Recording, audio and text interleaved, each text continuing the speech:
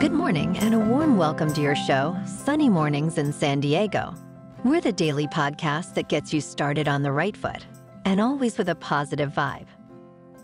I'm your host, Melissa, and it's Thursday, November 30th. You'll be interested to know today is National Computer Security Day. Today demands our attention because cybersecurity affects everything from where we bank and how we spend our money to who we elect to public office. We certainly don't want a replay of MyDoom, the worst email virus in history, which caused $38.5 billion in damage. So let's get educated on staying safe online. 25 more days until Christmas, folks. Now let's check out the weather in the San Diego area. This morning, it's mostly cloudy and 55 degrees, with 92% humidity and light sprinkles. Tonight, the sun will set at 4:42 p.m. and it will rise again tomorrow at 6:32 a.m. It looks like we're in for a day of a little clouds and chance of showers. Mostly cloudy with a high near 64. Light west wind increasing to 5 to 10 miles per hour in the morning. Winds could gust as high as 20 miles per hour. Chance of precipitation is 50%. New precipitation amounts of less than a tenth of an inch possible.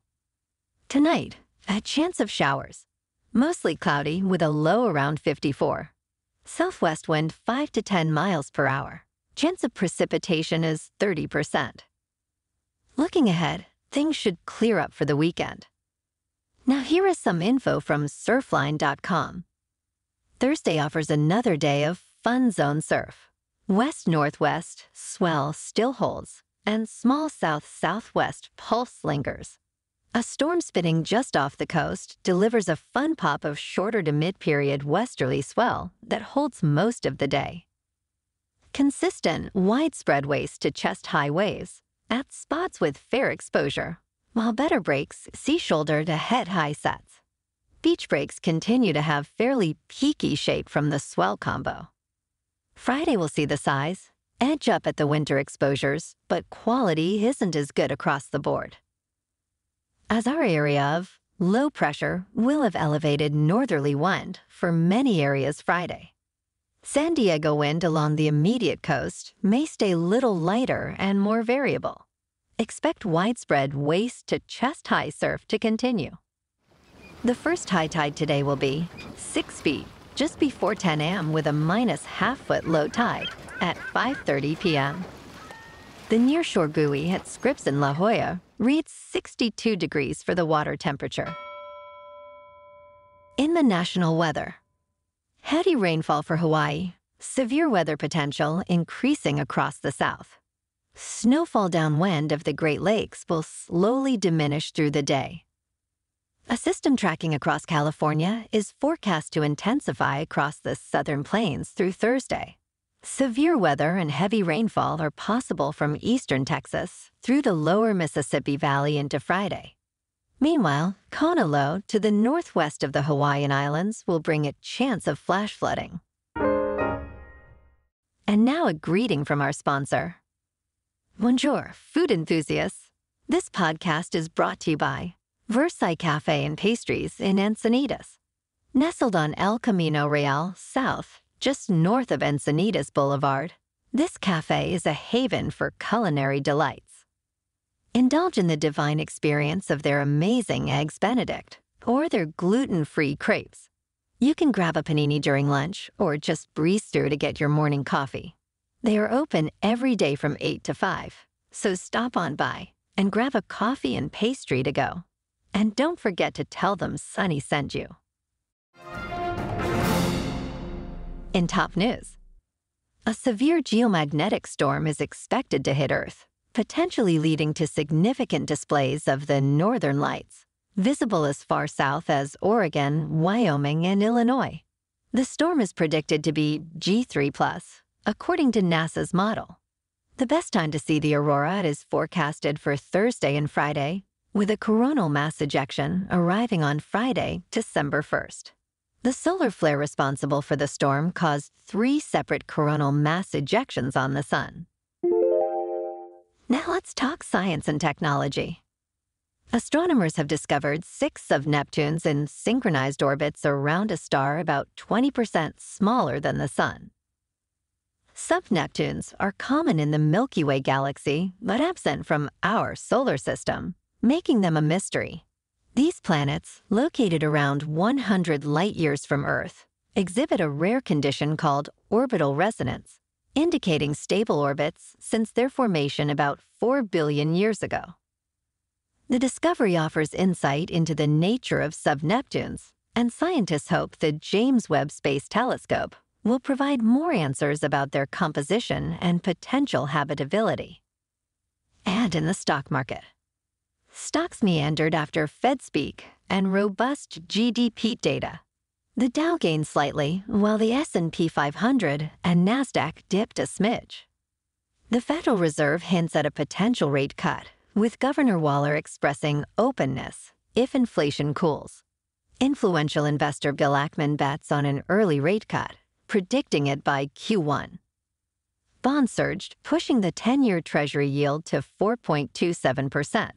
Revised Q3 GDP data revealed a 5.2% growth rate. In the market, speculative areas rose, marking a FOMO trading trend. That is, fear of missing out for those learning the new lingo. Netflix aims to enhance its gaming catalog with the Grand Theft Auto trilogy. GM announces a $10 billion buyback plan, lifting shares by 10%. GameStop soars over 20% amid increased call option bets.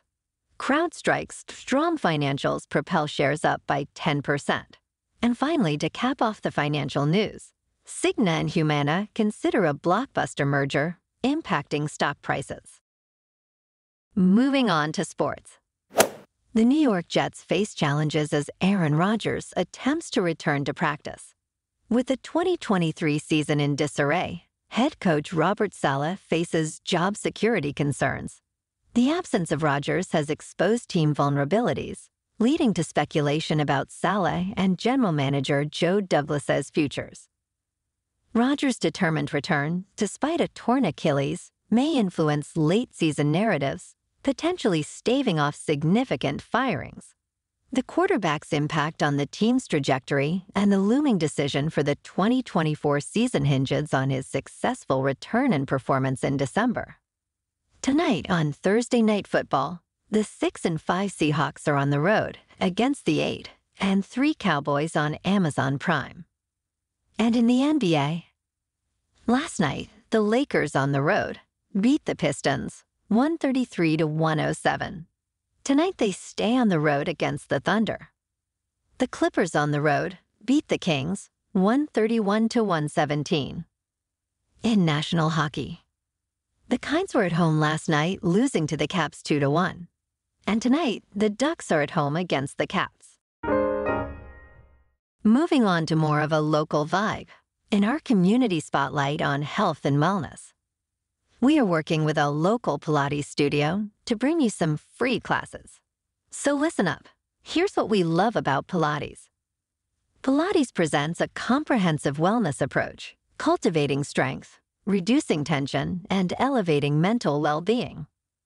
Integrating mindful movements, it positively influences overall vitality Scientific research affirms its benefits, connecting Pilates to enhanced core strength, improved flexibility, and better posture. So now you can check out Club Pilates in downtown Encinitas for a free class. And be sure to tell them that Sunny Mornings Encinitas sent you by. You're welcome. And now back to our show. In local news, Carlsbad's New Village Arts is set to name its new stage, the Ray Charles Stage, in honor of the legendary blues artist. Sponsored by Dr. Valerie Irvin and the Ray Charles Foundation, the ceremony precedes the opening night of Dea Hurston's musical, 1222 Oceanfront, A Black Family Christmas. The Ray Charles Stage will host Hurston's musical, a story of a Christmas celebration with unexpected family drama. The production runs until December 24. And in entertainment news, this weekend in San Diego offers a plethora of options.